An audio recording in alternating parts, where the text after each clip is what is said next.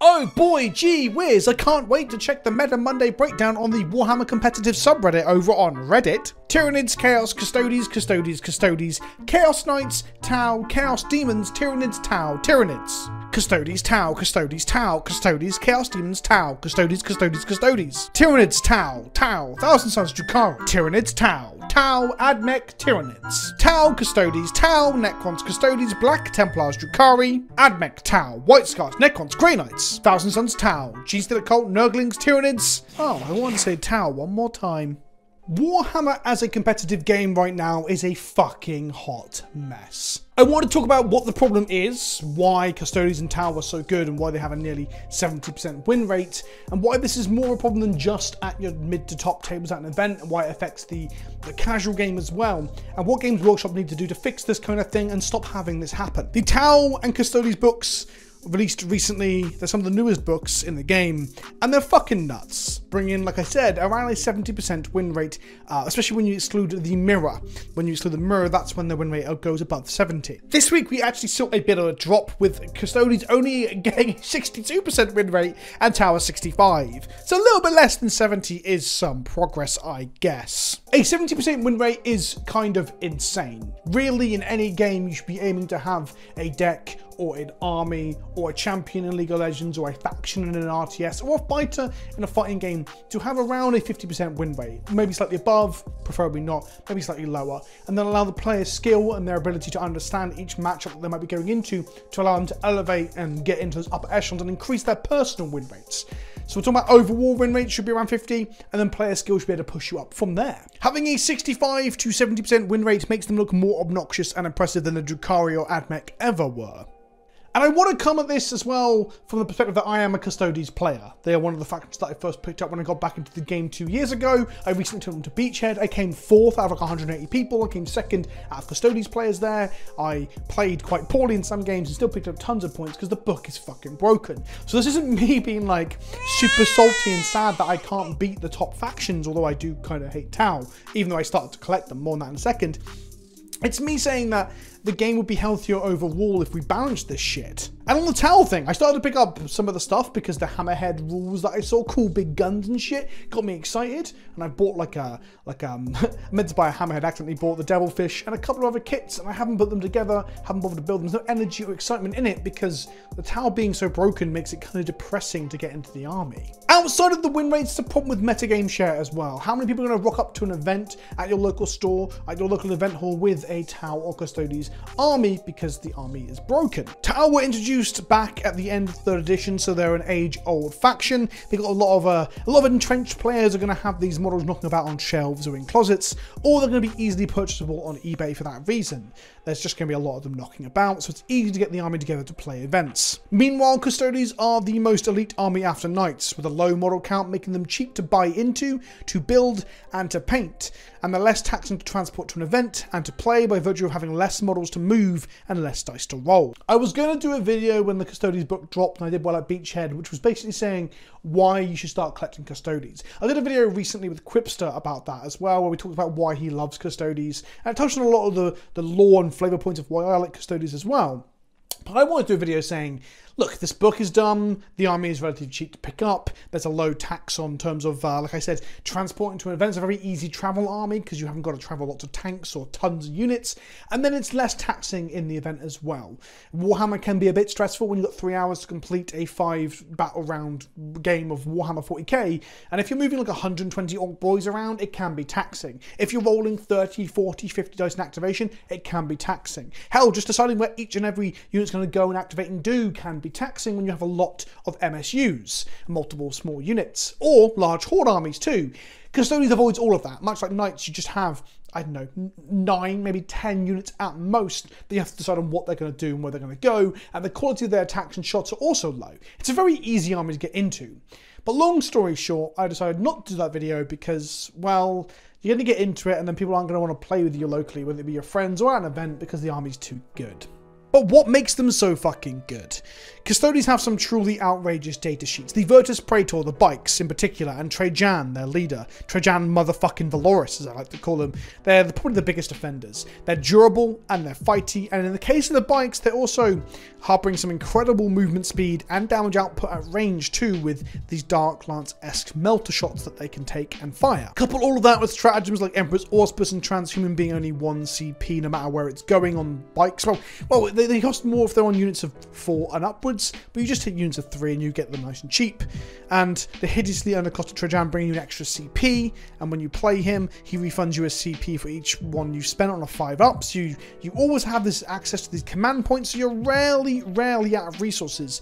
And if you've got enough resources, you can make one of your units nigh unkillable by turning off your opponent's rerolls and making them only able to wound you on a 4 up. The bikes are 5 wounds a pop with a 2 up invulnerable save, and they're so fast that you can maneuver them behind obstacles as well to get obscuring, and yeah, the, the book is is frustrating. The dominant sub-faction, Emperor's Chosen, allows you to have a 4-up Feel No Pain to Mortals, shoring up the traditional weakness to Mortal Wounds and Psychic. It also gives you a single hit or wound reroll per activation, meaning when you're hitting on 2s and wounding on 2s, you're pretty efficient in getting those shots through those Dark Lance style melter rockets. And then that faction also has a 1 CP strat preemptively to put any unit in your army into another sub-faction, which then opens you up to 5 times 2, so like 10 other like like army-wide rules. So you've got a toolbox where you can do pretty much anything you'd ever need to do. Fight first, reduce their attacks, all that sort of stuff. Ha heroically intervene, fight, all that shit. The thing you can't do is advance and charge, really. Everything else is doable if you think far enough ahead. So there's a skill element, but the data sheets will carry you anyway. On top of all that, the book got a preemptive points drop on release week because the book is balanced against some metagame that never ever existed. It's pre-nerf Drukhari or AdMech maybe. Who the fuck knows at this point? Tau, on the other hand, I have less experience playing against. I've played against them seven times, I think. I've not played with them yet. I plan to, I, well, I planned to play with them to learn the game and the fundamentals of the game and then the intricacies of the game. I want to play every faction if I can. But now I'm bored to tears with this broken army. They have a ton of maneuverability in being able to advance and shoot. And there's stuff that pre-game moves towards objectives as well, but beyond that, they have some rather obnoxious data sheets as well. Broadsides and crisis suits are the biggest offenders for my limited time flailing my arms into them. These things are inexplicably infantry, in spite of being huge chunky mech suits that make the Sisters of Battle's Paragon war suits look like complete dog shit. They can fire into combat when they're tagged, so attacking them doesn't really matter. They can fire out of line of sight with mass spamming air fragmentation grenades and smart missile launchers, as well as carrying high quality shots on their main guns, which allow them to delete armor and large elite infantry or units. The broadsides randomly have AP on their melee profile, so they get to kill squishy melee like Orc Boys on the crackback if you fail to kill them, which you will. The army has at least two separate instances of being able to reduce your charge by two, uh, one on like I think it's Pathfinder units, the other one on battle suits, as well as a plethora of cheap chaff units like all your infantry and your Kroot and your Vespids and your, and your transports that can provide screens, which means actually getting into melee with them is unreasonably difficult. And then when you get into melee with them, you may just bounce off their T5 4 wound or 8 wound, uh, 2 up save in some instances. It's kind of wild. The infantry status on the battlesuits means that they can abuse terrain by breaching in and out of it with a fire after moving strat, and they fly anyway, so that's kind of much of a muchness, and they can take light cover. And to top it all off, there's shield drones to make anti-tank fire ineffective into them. Uh, one suit in the Crisis Suit blob can have a 2-up save, whilst another one has a 4-up Feel No Pain that can be activated once per battle to tank even more hits, which means when you eventually connect with them, uh, you're not going to kill the entire blob. It's a hugely risky endeavour to try and get into melee with them, especially if they're going to be firing Overwatch at you, and often unrewarding as you don't wipe the squad. I was partially joking on my Discord how I know they're an expensive unit, but they should fold to melee, but nothing in the game reasonably trades up into them. It was a joke initially, but when we started like looking at the averages or even rolling hot on some things, like, I don't know, 10 Repentia in Bloody Rose, give them plus one attack with the hymn as well. I don't think they wipe a squad of six crisis suits on average if they've got the, uh, the, the, the, the, shield drones there. And you've got to get them into combat with them as well. So you're looking at having like a, a long bomb charge at a strategic reserve, because Repentia also died to all the SMS and airburst, as most things in the game do right now. Being T3 into the mass spam of strength 4 out of line of sight shots is fucking obnoxious. When Winter's SEO joked that it's Codex battlesuit, he was not lying. This man is a prophet of doom. Heed his warnings. So why is this bad that these books are so pushed? I guess something's got to be the best thing, right?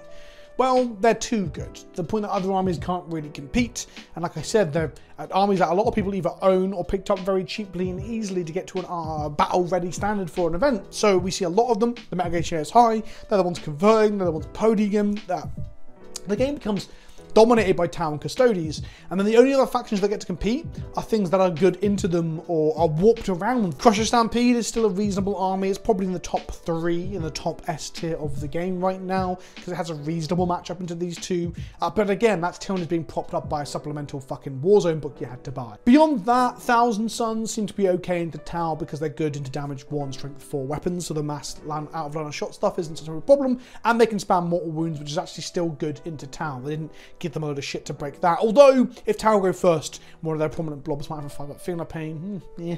And the Necrons are another example of an army that is just good into both Custodes and Tau for numerous reasons that I don't quite understand, but people keep saying. And on top of that, they got a buff when they changed all the core rules for them, uh, an FAQ or two ago. Uh, the Necrons is a good example of them uplifting another faction that might be able to combat the new menace, and we'll talk more on that in a moment. But some of you are just laughing. You're just going, ha ha, yes, ha ha, like a sicko, because fuck the tournament players, right? You're a casual player, you play like six to ten games a year. Fuck those tournament wankers. However, it does affect the casual game too, because the Custodians and Tau Codex are a good example of where even the worst things in the book are still better than the best things in other books. It's just not a very good place to balance the game around. You'll be a casual player who's getting their first game in in a couple of months. You're going to pick up a, the new book for the army you've been waiting for. Tau being a good example of people being very excited to play the new army. And then you're just going to dumpster your friend who's casually playing, I don't know, Blood Angels or something. And it's not going to be a fun game for anyone. And the really frustrating thing is that it doesn't have to be this way. We already saw some changes to the points of the Custodes book before it came out. The book was not even the correct rules for the Custodes within like a week of it coming out. We had on release weekend an update to change the price of Misericordias and some shit. Then we had another one a week later to, or less than a week later, I think it was, to drop the price of Trajan and the bikes preemptively for that meta game we never really saw. Pretty fucking wild. And then since then, we've also had data slate update and an FAQ fixing some of the really bad wording in the book as well. So we're at a point where these armies are broken and they are fucking the competitive game up. And we've had three updates since the release of the Custodes book alone, and none of them have addressed this issue? That's fucking shit. It's one thing to have a game system where you release a book and it's broken, you have to wait for the next books to come out to hopefully balance out the metagame. It's another to actually have checkpoints and balancing points in place, the FAQs and the data slate, and then not to use them to fix what's currently going on. There's an arbitrary placement for these data slate updates, the balancing updates. I think the next one is late April, early May, if the comment section of the Reddit post that I linked, uh, talked about earlier in this video is to be believed. But why arbitrarily leave it till then? Why have another four weekends of the game just looking like a fucking joke? Of people not wanting to go to events. I got asked if I want to go to an RTT this Saturday, and one of the reasons I don't want to go is that I don't want to play just Custodes Mirrors and Custodes into Tau. That sounds fucking miserable. I really fucking enjoy 40k for many aspects of it, not just the competitive scene, but the building and the painting and the books and all that stuff as well. It's fucking cool, right? But it's a shame that this competitive game, that is a place that I'm getting my competitive itch because organised play and Magic is such a mess right now.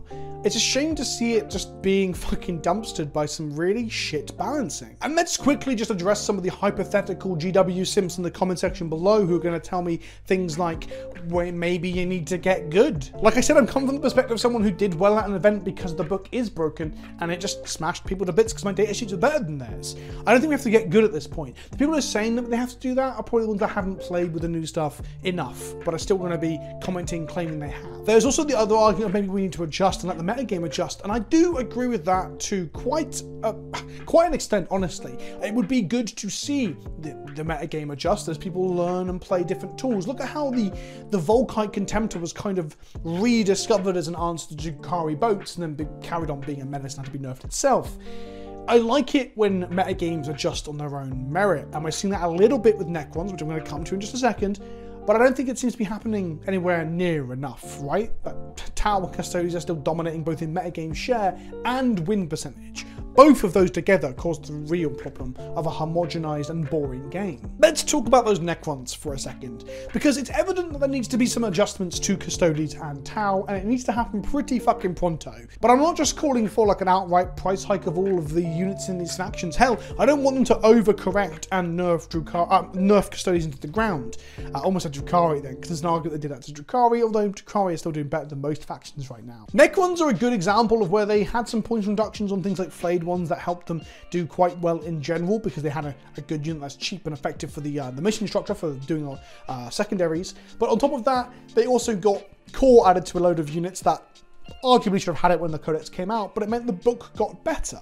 And what I want to see in the point adjustments and data slates coming forward is that they're lifting up every other army instead of inadvertently nerfing both Death Guard and Sisters of Battle had more nerfs than most. Uh, Sisters of Battle, for example, had points increases across the board across all the best units like Sacrosanct and Morvenn Vahl. Then they had their um, uh, heavy weapons platform, Shooting Girls, nerfed by having only one cherub be popped at a time. And the latest Bloody Rose supplement makes it that you can't take Morvenn Vahl or Celestine or Hospitaller in the fucking detachment. Probably because of uh, bad uh, wording, but it might actually be a nerf. Who the fuck knows at this point? I want to see them pump up and lift up the other factions more so than just drag the old ones, uh, the, the overpowered ones down. That's what I really want to see. On the topic of how you adjust the other ones, I think crisis suits need to be less durable and the whole army needs to be more prone to being charged. Whether that's changing the stratagems and the effects that reduce your charge or upping the cost of the screening units, that might be one way to do it down on the Tau. I have some stronger opinions on the custodians. I don't think, originally I wanted the bike points to go up, but I think making them any Madeira might make them really awkward to play. Every points update you do to the custodians, every points hike you do, will chop off a body from another unit elsewhere. And the average custodian is like 45 to 60 points depending on which unit we're talking about. So when you up every like a unit by five, and you take three of that unit, you've now lost a body and you've got to find where to put those points elsewhere. Points have to go up. Trajan is way too cheap. 160 points, he's the best character in the game, barring none. But I think really we need to see some errata and some changes to how the um, stratagems work in Custodes. Similar to what we saw with AdMech when they changed some gun profiles and some stratagems there to fix the veteran cohort span. I think having these stratagems be 1 CP for a unit of 3 models or less, it might just need to be flat 2 when used on bikes, for example, or maybe even, and I don't want this to happen because it makes me sad, but it's the correct thing to do, maybe have one of them Probably the Emperor's Auspice only affect infantry, so you can't put it on bikes or vehicles. Uh, and that way your dreads and your bikes lose a bit of their unreasonable durability. Here's a question to you in the comment section. Is there a faction that you play at the moment that got nerfed, Death Guard or Sisters for example, and what would you like to see done to improve that faction to allow them to compete on the, the, the, stage of Warhammer as a competitive game? Is there something you think that is a really easy fix for your favourite faction that's underperforming right? That's the video. I've been Vince. That was all about the problems with current 40k in competitive and how it bleeds through to casual and some of the fixes that I think. Thanks for watching. Let me know what you think in the comment section below. Tell me what your fix for your faction would be and I'll see you all soon. Don't forget to subscribe to tell for now.